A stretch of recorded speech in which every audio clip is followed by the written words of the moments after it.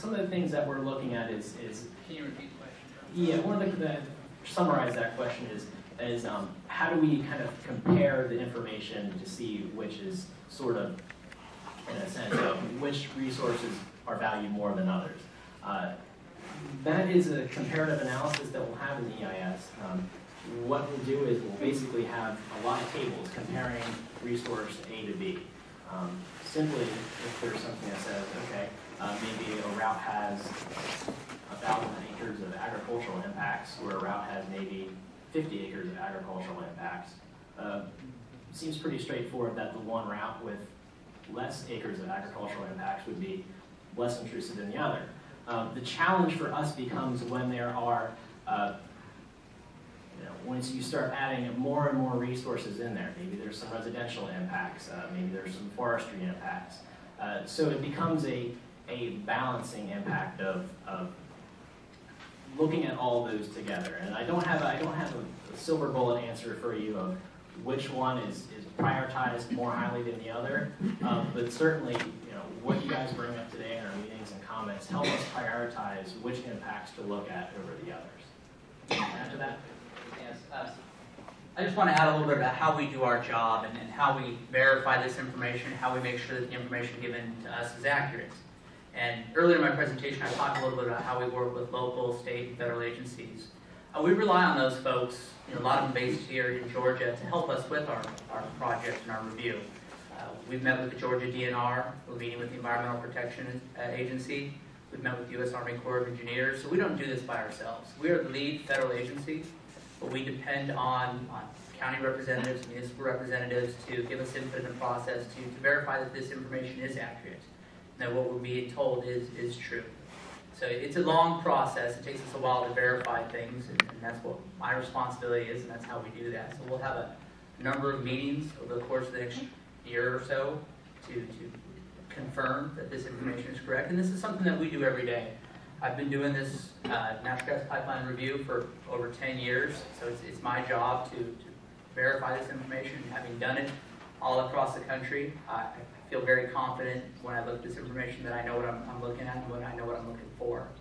And in, to point out, there's two of us, three of us here from FERC. We probably have a team of about 24 folks assigned to this project. It's going to take us a while. It's a big project, but that, that's how we work a little bit. Be happy to answer any other process questions that people might have about what the FERC does and how the FERC reviews the project. You, you said that you would be reviewing what's there now, um, which is important. But what if there's nothing there, but hundreds of years, we may have things there? So why is it only considered you what the last part, I wasn't really, agriculture? I wasn't hearing from you from all the way back there. Could you come I, I up? said you mentioned you take into Let me come to you. consideration, when you're doing your review process, you're, you're taking into consideration what's there now, for instance, residential agriculture. Does it really matter what's there right now? Because are we not considering what will be there for years, decades, hundreds of years? How that land and water going to be impacted? Yeah, um, I'll take a crack at that. The, uh, for every resource that we look at in the EIS, we look at the current, what's currently there, but we look at what the construction impacts would be, and we would look at the long-term operational impacts. So we would be looking at, for the lifetime of the operation of the pipeline, what those impacts would be. So they would go out for years. So the lifetime of the pipeline, Correct.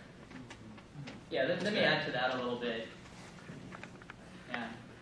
You're typically in an environmental uh, impact statement like that, there's three types of impacts. There's the temporary ones, which are pretty short term. You'll see them and then they'll go away.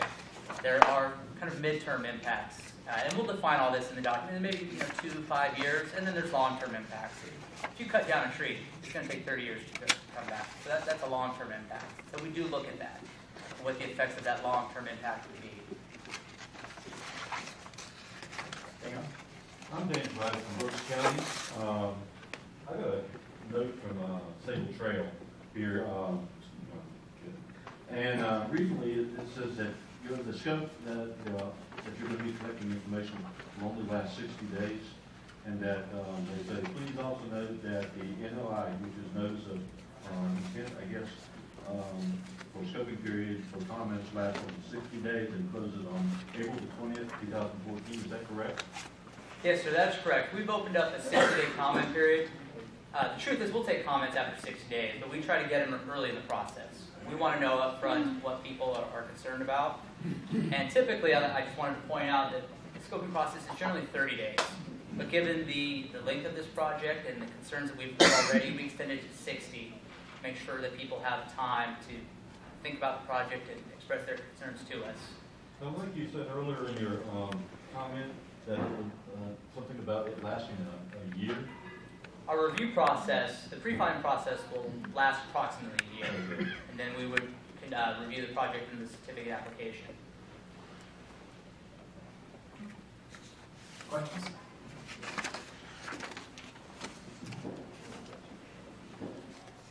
My name is Tom Lovett, I also live in Brooks County, and I'm an affected landowner. My question is to the process that is utilized for the approval, and that is, you have a staff of twenty-four in the commission, and then there's five commissioners. Is that correct? Correct. And, and is the ultimate decision made by the five commissioners who, at some point in time, when the review and the uh, process is to the point where they're going to vote on it, and then they vote to approve it and approve the route? Is that, is that what happened? Correct. Let me add to that, Kevin, really quickly, and I should clarify, the commission has a staff of well over a thousand. There are 24 of us from the environmental division dedicated to this project, and as you said, when we're done with our job, the five-member commission will vote on the project, whether to approve it or not to approve the project. Uh, So we'll, we'll provide our recommendations. There's other aspects of the commission, the legal and the economic folks that will be working on this project as well, who also provide input to the commission before they make their decision. And a follow-up question, is your commission one that is going to either approve or not approve the proposed pipeline? And, or do you have the um, jurisdiction to approve part of it, but not other parts, and, and therefore you could require that Sabal Trail reroute, move, or relocate uh, part of what they, where they want to put the pipeline? Yes, the commission will ultimately approve the project, which includes the project route. Uh, The commission has the ability to parts of that, not, and not other parts of that. Typically, what happens in the review process is if the staff feels that there is a a better route or a better alternative or better portion, we would make a recommendation to the condition, and then the commission would consider whether or not to approve that recommendation. But the final authority rests with the commission. Okay, thank you. I think there's a question back here.